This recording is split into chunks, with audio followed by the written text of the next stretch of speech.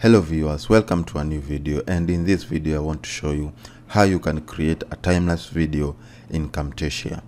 Before we get started, I produce content on making money online, computer tech tips and freelancing.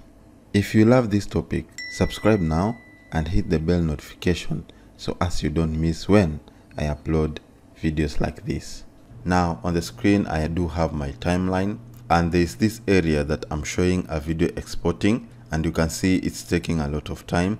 So to create a time lapse of the video exporting what I need to do is right click on the media that I want to create the time lapse and say add clip speed.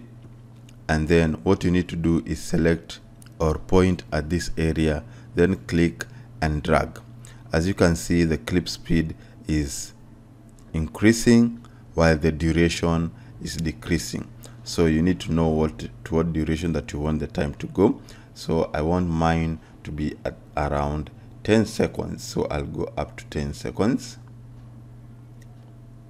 There. Then i just stop there. And when we go to that you can see it's going fast as you can see on the time. Let me enlarge this first.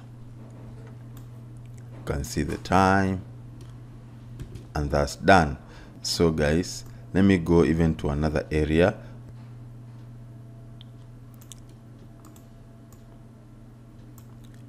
This is the area.